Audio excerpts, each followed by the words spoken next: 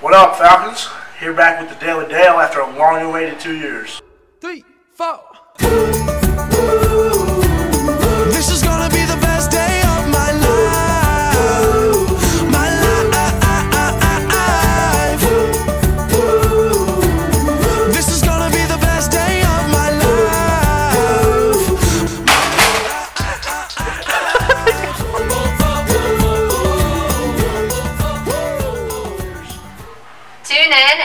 Friday and advisory to watch the Daily Dale. We hope you liked our teaser video, and now onto the fair clips. Back to you.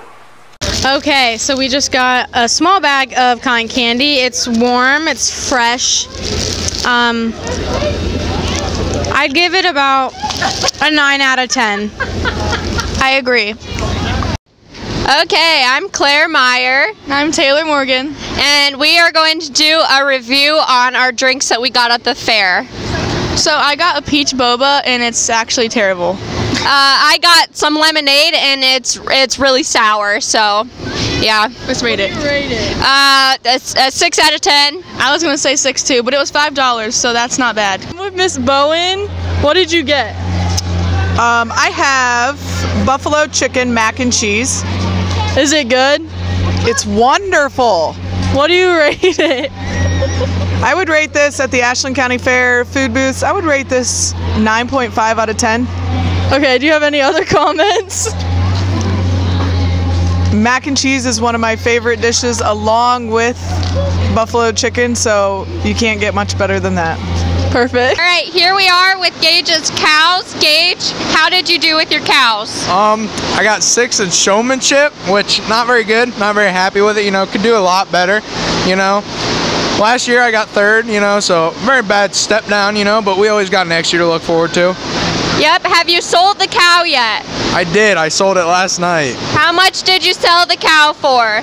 I got um three dollars and ten cents a pound, so around thirty-seven hundred dollars. I'd say that's pretty good. Are you happy with it? Uh, it's not bad, but I paid twenty-five hundred bucks for the cow, and I probably had a thousand in feed, so I w- made a little bit of money. All right. Thank you so much, Gage. We'll see you later. Yep, we'll see you. All right, so what's your name? Jax Rogers. What grade are you in? I'm in 12th grade. And what are you showing here at the Ashland County Fair this year? I got a market steer and dairy heifers. What are their names and how'd they do? Boofus and thing one and thing two. And I got first and second with thing one and thing two, and six with boof. Perfect. Anything else that you'd like to say? I'm gonna have to go on a run to work off all the fair food I ate. Thank you. We're here with the king of the Ashland County Fair. What's your name? Gabe Morawski. And okay, I have a couple questions. So, how do you feel about being picked to be king? Um, it's really nice. Uh, I think it's a good accomplishment for me. I've been on the court for this is my third year now. I've been kind of building up to being the king now this year. Sweet. Um, what were the kind of the requirements to be chosen? Um, I filled out an interview and then, or I filled out an application. Then I went and did an interview with um, a couple of the judges, and then a select few were picked from the interview process to go and do the competition, which was um, on Sunday afternoon of the fair. Sweet. All right. Congratulations. Thank you. Thank you. Well, what did you guys think about the fair? I thought it was a good time. Well, I was having fun until the cow pooped on my shoe, but it was alright. I had fun. I liked looking at all the animals. Well, what was your guys' favorite food you got from the fair? For sure. Trumbull. Trumbull. I hate fair food. I, I got some pretty good cotton candy, so. Alright, now we're going to take you to the homecoming announcements. I'll see you there. Your homecoming game will be on October 7th. Come out and watch us absolutely annihilate Waynedale, and we'll announce your homecoming court before the game. Homecoming is on October 8th, 7 to 9.30, and it's neon night. Come out and have a great time. We'll have refreshments and snacks, and boogie down on the dance floor. Okay, moving on to the sports segment. The student section theme for the homecoming game is Pink Out.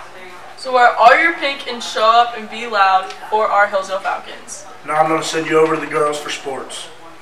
Guys! Welcome to the fall sports segment. We'll be covering the week of Monday the 19th.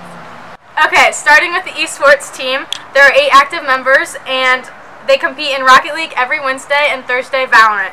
Uh, if you are interested in watching the matches, you can watch on the HHS Esports Twitch channel. And for soccer, they lost 0 to 6 to Northwestern on Tuesday. And their next game is Saturday at Chippewa at 12 o'clock. For golf, they had the WCL tournament on Thursday. Byron Bickle tied for second in the county. And then this past Wednesday, they played for sectionals. Volleyball on Tuesday lost Northwestern in three sets, and they also lost to Waynedale in three sets. But compared to last year, they've seen a lot of improvement, um, regardless of the outcomes. So good luck next week. Okay, next is football, and the Falcons had a huge upset over Dalton, 27 to 12. That night also was Camp Brower night, which had a huge outcome, and it was also middle school band playing with the high school band. Our record is also three and three right now, and good luck to our boys this Friday night at Smithville. Next is cross country. Their meets are on Saturday mornings, and many of the runners have gotten their PRs over the season. Next up, we've interviewed all the new staff here at Hillsdale. Our new staff members are Mrs. Kelly, Mrs. Zimmerman, and Mr. Kazee. Let's see what they have to say. Where did you go to school? I went to college at Ashland University, and then I got my master's from Regent University. I went to Messiah College in Pennsylvania. At Miami of Ohio, and then I finished my undergrad at Wittenberg, and I got my master's at uh, a place called Austin Peay State. What made you come to Hillsdale High School?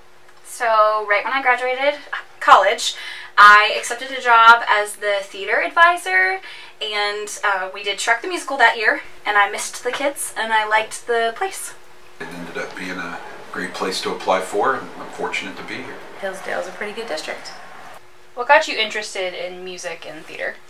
Oh, uh, it's a hard one. So I've done music since I was 10, and I really liked it. Theater I've done for a really long time. And then when I was in high school, I did a lot of theater, and it was kind of my safe space and the place that I felt the most comfortable. And so I do it a lot now because I still feel safe and comfortable, but I like helping other people feel safe and comfortable too.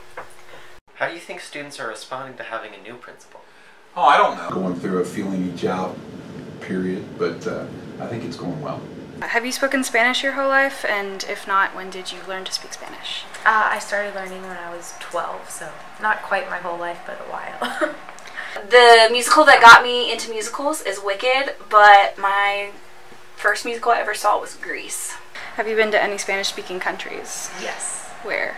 Um, Spain, Puerto Rico, Mexico, Ecuador, Panama. What's a goal that you have for the school? Well, I got a couple. I think um, making sure that we continue some of the great things that Mr. Baker established. Uh, the school without failures. The thing we need to try to do is put COVID behind us as best as possible. What's your opinion on garden gnomes? Garden gnomes. Uh, against. Because they're a little creepy, and I seen that movie Gnome Alone, and I, you know, they can't be trusted. What do you think's the best kind of chair? The best kind of chair? A recliner. Which Beatle is best? Oh, that's a tough one too. Um, they're all individually unique. Probably like Paul's songs more than anyone else. So I'd probably have to pick Paul. Uh, Thanks for watching the first Daily Dale of the year. Stay tuned for next week.